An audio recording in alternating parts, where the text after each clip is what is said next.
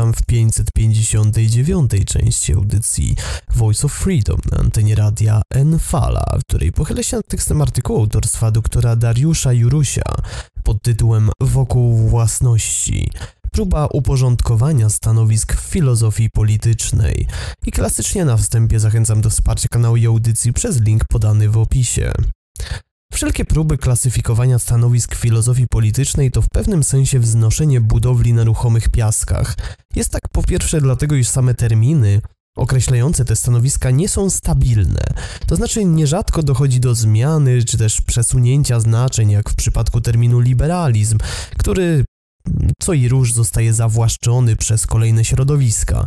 Po drugie, dlatego, iż sami filozofowie zmieniają, choć zazwyczaj nie w sposób radykalny, swoje poglądy, jak było to w przypadku Johna Rawlsa czy Roberta Nozika.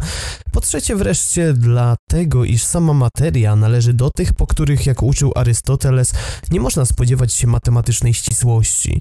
Z tych też i paru jeszcze innych powodów proponowana przez nas klasyfikacja nie może być traktowana jako ostateczna. Ma ona jednak pełnić dwie funkcje. Po pierwsze, zwrócić uwagę na fakt, że we wszelkich klasyfikacjach przyjmowane są pewne wyjściowe wartości służące jako kryterium demarkacji stanowisk, po drugie uporządkować spektrum stanowisk filozoficzno-politycznych według nowego klucza. Aby proponowana przez nas terminologia stała się jaśniejsza, dla każdego z prezentowanych stanowisk przypiszemy filozofów, w których koncepcje najlepiej oddają charakter danego środowiska. W literaturze filozoficzno-politycznej można spotkać różne sposoby klasyfikowania stanowisk politycznych. Wydaje się jednak, że sam problem klasyfikacji nie stanowi głównego zainteresowania filozofów, a diagramy, wykresy czy inne formy graficznej reprezentacji stanowią jedynie punkt odniesienia do późniejszych rozważań nad konkretnymi koncepcjami. Najprostszą formą uporządkowania jest uporządkowanie liniowe, nieco już anachroniczne, z lewej do prawej, lewica, centrum, prawica. Uszczegółowieniem, aczkolwiek nieznacznym tego schematu byłby następujący diagram. Komunizm, liberalizm, konserwatyzm, faszyzm. Mamy więc lewicę, centrum, prawicę z ich umiarkowanymi i skrajnymi odmianami. Wydaje się jednak, iż taki spłaszczony model abstrahujący od jego instruktywności nie uwzględnia różnych wymiarów, kryteriów, kryteriów e, życia społecznego i politycznego. Takim istotnym wymiarem jest niewątpliwie zakres ingerencji państwa w życie jednostki. Przy uwzględnieniu tego kryterium mielibyśmy do czynienia z następującym uszeregowaniem stanowisk. Najwięcej władzy państwa, więcej władzy państwa, mniej władzy państwa, najmniej władzy państwa. Bogatszym modelem jest ten zaproponowany przez Davida Nolana, czyli dwuwymiarowy libertarianie, autorytaryści, liberałowie, konserwatyści. Podział na wolność osobistą osobistą i gospodarczą. W modelu Nolana, Nolan's Chart, mamy do czynienia z dwoma wymiarami wolności, ekonomicznym i osobistym, i stąd z czterema możliwymi stanowiskami. Konserwatyści opowiadają się za wolnością w sferze ekonomicznej i ograniczeniami w sferze społecznej. Osobisty wymiar wolności Libertarianie są zwolennikami wolności w obydwu sferach, liberałowie tylko w sferze osobistej, podczas gdy autorytaryści w żadnej z nich. Aby ustalić, w którym miejscu spektrum znajdują się nasze poglądy, musimy odpowiedzieć sobie na kilka pytań dotyczących wolności osobistych i ekonomicznych. My proponujemy następujący schemat. Jądrem naszego schematu jest amoralistyczny anarchizm, do którego zbliża się najbardziej koncepcja Maxa Stirnera. Stanowisko to przechodzi w moralistyczny anarchizm Maria Newtona Rothbarda, ten z kolei w moralistyczny minarchizm Roberta Nozika, a dalej w utilitarystyzm utylitarystyczny minarchizm Ludwiga von Misesa, który z kolei rozwija się w utylitarystyczny liberalizm Friedricha von Hayeka, dalej mamy liberalizm socjalistyczny Johna Rawlsa i wreszcie socjalizm prowadzący do komunizmu Karola Marksa. Różnice pomiędzy naszym proponowanym, a proponowanymi do tej pory i znanymi nam schematami są następujące. Po pierwsze, nie zakładamy priorytetu wolności w stosunku do innych wartości. Po drugie, za kluczową wartość uznajemy własność, a stosunek do niej za kryterium demarkacji stanowisk. Po trzecie, proponujemy schemat spirali i koncepcję twardego rdzenia, która umożliwia przedstawienie spektrum stanowisk filozofii politycznej jako przechodzących naturalnie jedno w drugie. Po czwarte, w naszym schemacie jest także miejsce na koncepcję negujące istnienie państwa. Ponieważ ramy niniejszego artykułu nie pozwalają nawet na ogólne omówienie stanowisk wymienionych tu autorów, musimy ograniczyć się jedynie do wskazania na te cechy ich koncepcji, które upoważniają do umieszczenia ich w odpowiednich miejscach naszej spirali.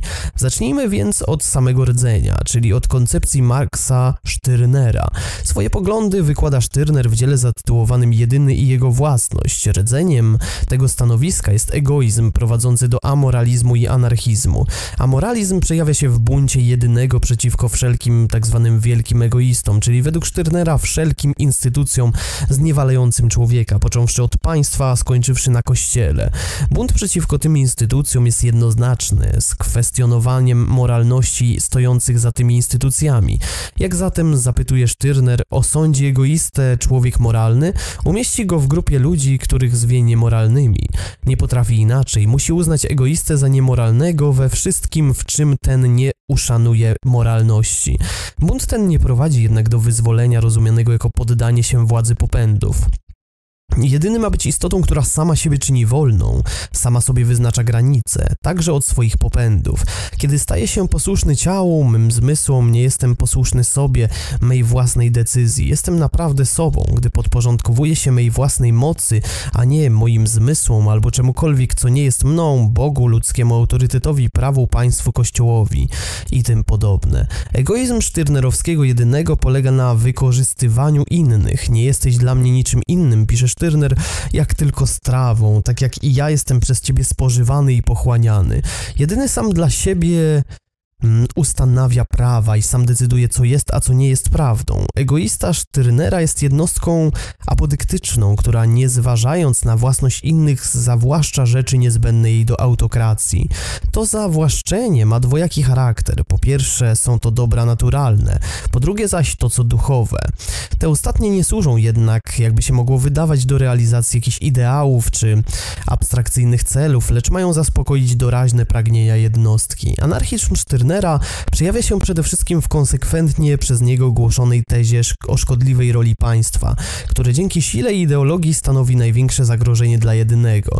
Dlatego też pozostajemy oboje, państwo i ja, pisze Stirner, wrogami.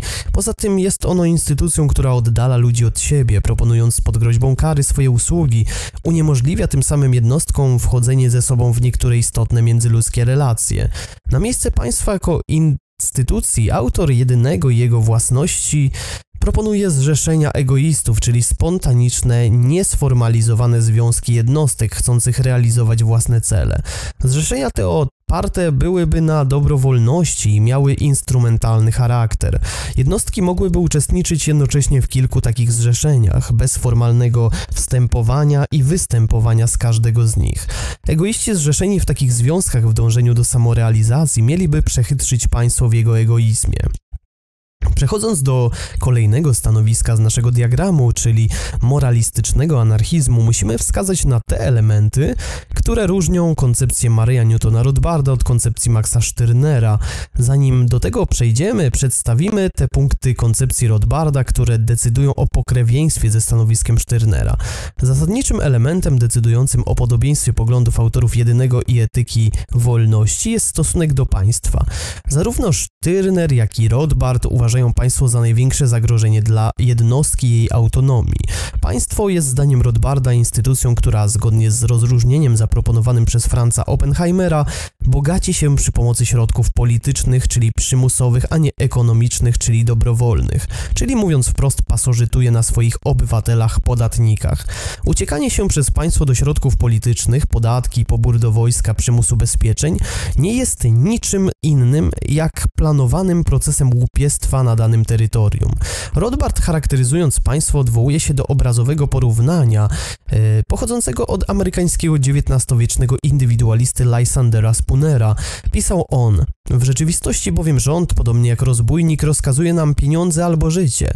Większość podatków, jeśli nie wszystkie, ściągana jest pod taką groźbą. Oczywiście rząd nie napada ludzi na pustkowniu, nie wyskakuje z krzaków przy drodze i nie przetrząsa im kieszeni przystawiwszy pistolet do skroni bezpośrednio.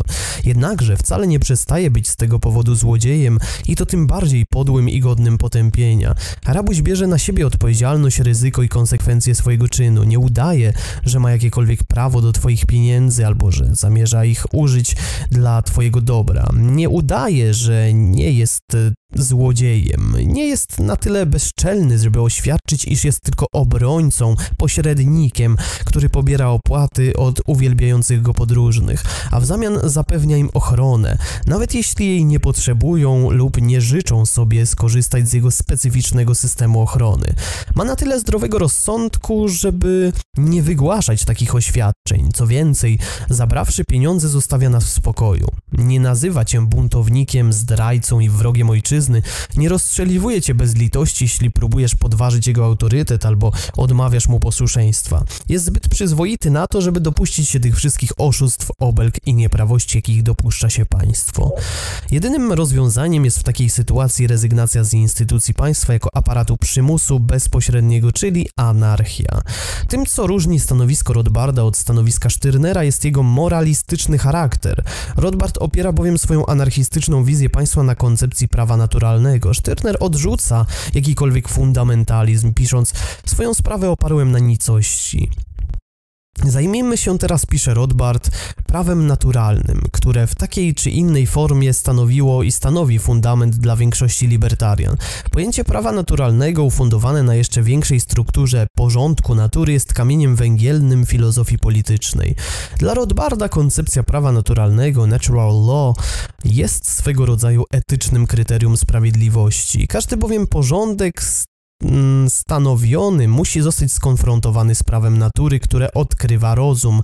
Moralistyczny charakter stanowiska Rothbarda wynika z przyjętych przez niego założeń. Rothbard utrzymuje, iż podstawowe prawo naturalne to prawo własności.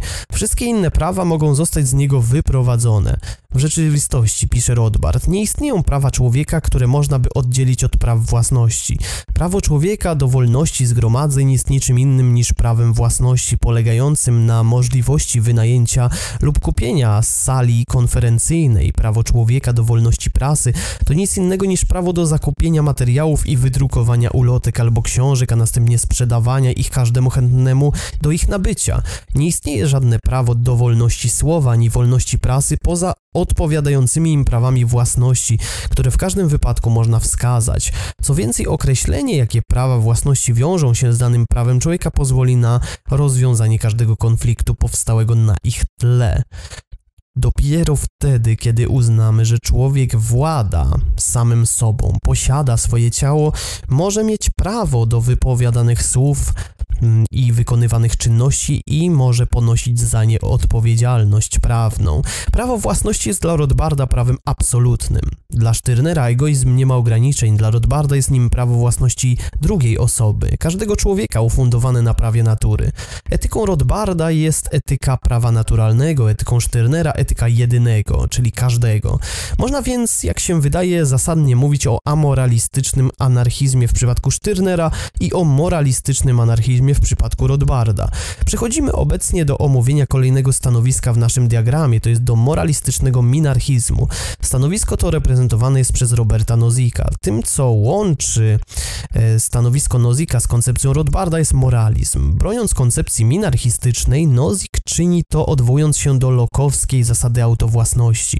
Mówiąc, iż każdy człowiek na mocy swojej natury jest właścicielem samego siebie oraz kategorycznego imperatywu Kanta, głoszącego, iż człowieka należy należy zawsze traktować jako cel, a nie jako środek do celu. W pracy, która uczyniła Nozika czołowego libertarianina pod tytułem Anarchia, Państwo, Utopia, Nozik polemizując z Johnem Rawlsem argumentuje, iż każde państwo posiadając większy zakres kompetencji niż państwo minimalne musi być uważane za niesprawiedliwe. W często przytaczanym przez komentatorów Nozika przykładzie argumentuje on, iż opodatkowanie, na które daje przyzwolenie koncepcja Rawlsa jest niesprawiedliwe, gdyż gwałci zasadę autowłasności oraz kantowski imperatyw kategoryczny. Nozick utrzymuje, iż druga zasada sprawiedliwości Rawlsa, czyli tzw. Tak zasada dyferencji, umożliwia pozbawianie własności jednostek bez ich zgody, pogwałcenie zasady autowłasności oraz przekazywanie tej własności innym, traktowanie tych pierwszych jako środków do celu. Polemika z Rawlsem ujawnia moralistyczny charakter stanowiska Nozika. Dla autora anarchii jedynym sprawiedliwym podziałem dóbr jest ten, który wynika z dobrowolnych umów zawartych pomiędzy dorosłymi osobami. Wszelka inna redystrybucja, która zdaniem Nozika posiada schematyczny charakter, jest uważana przez niego za niesprawiedliwą. Minarchistyczna strona koncepcji Nozika ujawnia się z kolei w przekonaniu autora anarchii, iż jedynym usprawiedliwionym państwem jest państwo minimalne, czyli takie, którym z podatków utrzymywane są jedynie wojsko, policja i sądy, obronność. Państwo minimalne ma ograniczyć się do zabezpieczenia praw jednostek. Usprawiedliwione jest pewnego rodzaju państwo minimalne, pisze Nozik, ograniczone do wąskich funkcji ochrony przeciwko gwałtowi, kradzieży, oszustwu, narzucaniu zobowiązań itd. Tak Jakiekolwiek bardziej rozbudowane państwo musi naruszać prawa jednostek do niezmuszania ich do robienia pewnych rzeczy, jest nieusprawiedliwione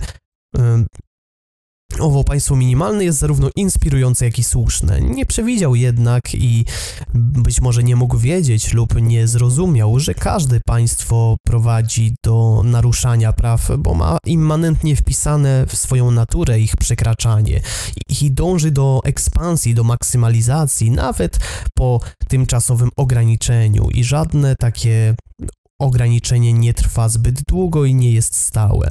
Takie państwo powstaje zdaniem Nozika spontanicznie w wyniku przekształcenia się państwa ultraminimalnego w państwo minimalne. Nozik twierdzi także, iż przejście od państwa ultraminimalnego do minimalnego jest moralnie konieczne. Nozik, podobnie jak Rothbard, odwołuje się do praw jednostki, choć w przeciwieństwie do tego ostatniego nie próbuje ich w żaden sposób uzasadniać, czyniąc argumentację moralną podstawą swojej koncepcji. Dochodzi jednak nie do tak radykalnych, choć naszym zdaniem należałoby powiedzieć konsekwentnych konkluzji jak Rothbard i poprzestaje na państwie minimalnym. Kolejnym stanowiskiem reprezentowanym na naszym diagramie jest minarchistyczny utylitaryzm, którego przedstawicielem jest Ludwik von Mises. Dzieli on z Nozikiem przekonanie o minimalistycznej roli państwa, jednakże jego argumentacja ma charakter pragmatyczny czy też utylitarystyczny. Mises pisał: Utrzymujemy tylko, że system oparty na wolności gwarantuje największą wydajność ludzkiej pracy i jest on wobec tego w interesie wszystkich mieszkańców Ziemi. Aby praca ludzka osiągnęła najwyższą możliwą wydajność, robotnik musi być wolny, bo tylko wolny robotnik korzystający w formie płacy z owoców własnej pracowitości będzie dawał z siebie wszystko. Taki sam pogląd Mises głosi w stosunku do innych wartości takich jak pokój, tolerancja, prywatna własność środków produkcji, czy instytucji jak wolny rynek. Dla Misesa argumentacja moralna odwołująca się do koncepcji praw naturalnych i utylitarystyczna nie są ze sobą tożsame. Utylitarystyczna argumentacja Misesa prowadzi do minarchistycznych konsekwencji. Mises bowiem, podobnie jak Nozick, choć z innych powodów, opowiada się za państwem minimalnym. Racją istnienia takiego państwa jest jednak ochrona wolnego rynku, a nie naturalnego prawa własności. Dla maksymalnej efektywności pracy ludzkiej i działalności. Odnosząc się do tej kwestii Mises pisał, w systemie gospodarki rynkowej rząd martwi się o ochronę życia, zdrowia i prywatnej własności swych obywateli przed jakimkolwiek przymusem czy oszustwami, choć samo najczęściej jest za nie odpowiedzialne. Rząd dysponujący aparatem sprawiedliwości i przymusu jest w stanie zapewnić sprawne funkcjonowanie wolnego rynku. Powstrzymuje się on jednak przed ingerencją w wolność ludzkich działań w dziedzinie produkcji i dystrybucji dotąd, dopóki działania te nie prowadzą do stosowania przymusu jednych w stosunku do drugich, bądź nie opierają się na oszustwie przeciwko życiu, zdrowiu i własności innych, choć rząd najczęściej się ich dopuszcza. Taka forma zachowania się rządu wobec przedsięwzięć ekonomicznych swoich obywateli to charakterystyczna cecha państwa w gospodarce rynkowej. Chcą, mm, klasyczni liberałowie chcą jednocześnie silnego i dobrze zorganizowanego państwa, gdyż przyznali mu ważne zadania ochrony systemu gospodarki rynkowej, choć nie zauważają, że te zadania mogą być niewykonalne i wewnętrznie sprzeczne, bo to, co jest silne, niekoniecznie musi sprawnie się organizować i niekoniecznie musi dbać i stać na straży praw, a może je naruszać. Mises argumentuje na rzecz państwa minimalnego z pozycji utylitarystycznych. Państwo minimalne, chroniące prawa jednostek i gwarantujące sprawne funkcjonowanie wolnego rynku stwarza najlepsze warunki do rozwoju jednostki. Tak więc utylitarystyczna argumentacja łączy się w przypadku Misesa z koncepcją państwa minimalnego. Z utylitarystyczną argumentacją mamy też do czynienia w przypadku Friedricha von Hayeka. Hayek, będąc kontynu- kontynuatorem ekonomicznej myśli Misesa, obaj wywodzą się z tzw. Tak austriackiej szkoły ekonomicznej, wychodzi jednak poza państwo minimalne. Hayek uważa, iż kluczową kwestią dla zrozumienia funkcjonowania społeczeństwa jest uświadomienie sobie, iż jego rozwój odbywa się w sposób spontaniczny jest efektem ludzkiego działania, lecz nie planowania. Wolność, która według Hayeka stanowi wartość samą w sobie, jest nieodzownym warunkiem spontanicznego ładu. Stąd wszelkie przejawy ograniczania wolności, w szczególności przez rząd, winny być zwalczane. Hayek proponuje więc ograniczoną działalność rządu. Rola rządu winna być jednak jego zdaniem większa niż w przypadku państwa minimalnego. Proponuje coś, co można by nazwać państwem minimalnie opiekuńczym. Autor Konstytucji Wolności proponuje obdarzyć państwo funkcjami wychodzącymi poza obronność i sądownictwo, pisze on. W rozwiniętym społeczeństwie rząd powinien wykorzystywać swą władzę do pozyskiwania w formie podatków funduszy na działalność, która miałaby na celu świadczenie tych usług, które z różnych powodów nie mogą być w ogóle lub w zadowalający sposób świadczone przez rynek. Ale czy na pewno nie mogą? Czy na pewno nie znajdzie się na rynku jakaś stosowna alternatywa? Skuteczna. Utylitarystyczny charakter argumentacji Hayeka ujawnia się w momencie, gdy zaczynamy śledzić ustępstwa autora drogi do zniewolenia na rzecz państwa, a trzeba przyznać, iż są one niestety całkiem spore. Państwo ma bowiem zdaniem Hayeka chronić nas nie tylko przed przemocą, lecz także przed powodziami, lawinami czy epidemiami. Ma zapewnić każdemu pracującemu płacę minimalną. Powinno także wprowadzać regulacje dotyczące budownictwa i żywienia, a także certyfikaty na wykonywanie pewnych zawodów oraz odpowiadać za takie instytucje publiczne jak teatry czy boiska sportowe oraz last but not least mieć prawo do wywłaszczania osób prywatnych, eminent domain w sytuacjach, gdy służy to dobru ogółu. Te koncesje na rzecz państwa czy rządu wydają się upoważniać nas do określenia stanowiska Hayeka mianem liberalizmu, a argumentacja, która za tym stoi, do potraktowania go jako utylitarystycznego. Hayek nie broni indywidualnej wolności z pozycji praw naturalnych czy teorii umowy społecznej. Należy oczywiście przyznać, iż utylitaryzm Hayeka różni się od utylitaryzmu Misesa. Ten pierwszy ma podłoże ewolucyjne, ten drugi ekonomiczne. Stanowisko Hayeka przechodzi w jednym ze swoich wymiarów stanowisko prezentowane przez Johna Rawlsa. Dalej więc mamy do czynienia z liberalizmem, czyli w przyjętej dla naszych potrzeb koncepcji stanowiskiem stawiającym na pierwszym miejscu wolność jednostki oraz przyznającym ponad minimalną rolę państwu. Ponieważ jednak zakres działalności państwa jest w przypadku koncepcji Rawlsa o wiele większy niż w przypadku stanowiska Hayeka, nazywamy to stanowisko liberalizmem socjalistycznym. Mamy tu bowiem do czynienia z państwem opiekuńczym, welfare state. Liberalizm i socjalizm koncepcji Rawlsa znajdują odbicie w dwóch zasadach sprawiedliwości. Pierwsza z nich, przyznająca priorytet wolności, brzmi każda osoba ma mieć równe prawo do jak najszerszej podstawowej wolności, możliwej do pogodzenia z podobną wolnością dla innych. Druga tak zwana zasada dyferencji, wyrażająca opiekuńczy charakter państwa, brzmi: Nierówności społeczne i ekonomiczne mają być tak ułożone, by a. można się było rozsądnie spodziewać, że będzie to z korzyścią dla każdego, i b. wiązały się z pozycjami urzędami na równi dla wszystkich otwartymi. W przypadku Rawlsa jego argumentacja, dobrze zresztą znana, opiera się na koncepcji umowy społecznej. Rawls nie odwołuje się ani do teorii praw naturalnych Rothbard Nozick, ani do koncepcji utilitarystycznej Mises Hayek. W przypadku Rawlsa nie uwzględniamy jednak tego etycznego wymiaru, gdyż z naszego punktu widzenia nie wydaje się on najistotniejszy. Istotniejszą kwestią z punktu widzenia zaproponowanej przez nas klasyfikacji jest pokazanie przejścia z jednej strony pomiędzy stanowiskiem Hayeka, czyli koncepcją państwa minimalnie opiekuńczego, do stanowiska Rawlsa, czyli państwa opiekuńczego. I z drugiej strony, jak koncepcji Rawlsa do koncepcji państwa maksymalnie opiekuńczego, jak to ma miejsce w przypadku marksistów. Dla tych ostatnich kwestią kluczową jest oczywiście stosunek do własności prywatnej. Postulują oni bowiem zniesienie wszelkiej własności prywatnej oraz y, prywatnej kontroli nad środkami produkcji na rzecz kolektywizacji i dyktatury proletariatu, ludu pracującego. W anarchistycznym amoralizmie, do którego najbardziej zbliża się Sztyrner, własność jest funkcją egoistycznych potrzeb jednostki. Nie jest zatem krępowana ani przez państwo, ani przez innych. Amoralizm oznacza w tym wypadku brak poszanowania cudzej własności, a anarchizm negację instytucji państwa. Anarchizm moralistyczny charakteryzuje z jednej strony totalna krytyka państwa, lecz z drugiej poszanowanie własności prywatnej, wynikające z koncepcji prawa naturalnego naturalnego. Przejście pomiędzy jednym a drugim stanowiskiem oznacza przejście od anarchizmu nierespektującego własności prywatnej do anarchizmu szanującego własność prywatną. Z kolei przejście pomiędzy moralistycznym anarchizmem a moralistycznym minarchizmem oznacza przejście od koncepcji szanującej własność prywatną, naturalne prawo własności i widzącą w każdym rodzaju państwa zagrożenie dla niej do stanowiska głoszącego, iż jedyną gwarancją respektowania prawa własności będzie właśnie państwo minimalne. Kolejne przejście to jest pomiędzy minarchizmem moralistycznym a minarchizmem utylitarystycznym, oznacza, iż mamy do czynienia z odejściem od uzasadniania prawa własności poprzez odwołanie się do prawa naturalnego. To stanowisko nazwaliśmy moralistycznym. Na jego miejscu pojawia się uzasadnienie utylitarystyczne, prowadzące, jak w poprzednim stanowisku, do minarchizmu. To przejście z pozycji moralistycznych na pozycje utylitarystyczne prowadzi do koncepcji, które w coraz większym stopniu zezwalają na ingerencję państwa we własność własność jednostki. Państwo staje się więc coraz bardziej liberalne, co oznacza tu, że wolno mu coraz więcej.